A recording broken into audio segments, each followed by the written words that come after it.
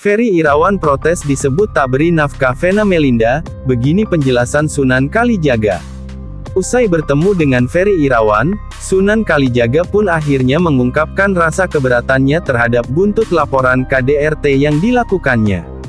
Menurut Sunan Kalijaga, aktor 45 tahun itu keberatan ketika dirinya diungkap tak memberikan nafkah kepada Vena Melinda.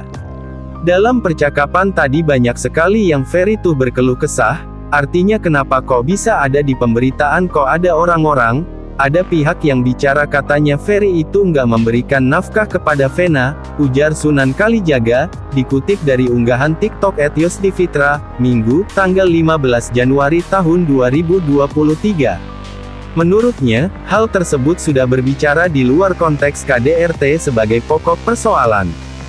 Oleh karena itulah, dirinya menyampaikan protes dari Ferry Irawan tersebut. Artinya udah bicara di luar daripada konteks dugaan KDRT itu sendiri.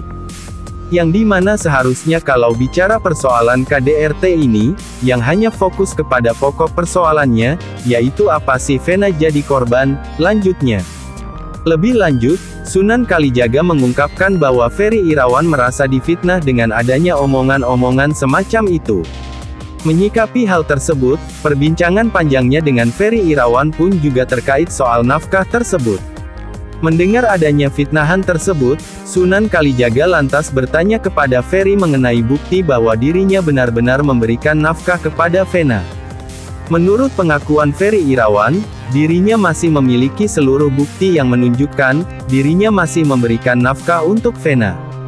Jadi, kata Ferry, setiap hasil kerja dari mereka berdua atau Ferry, itu masuk ke rekeningnya Vena, ungkapnya.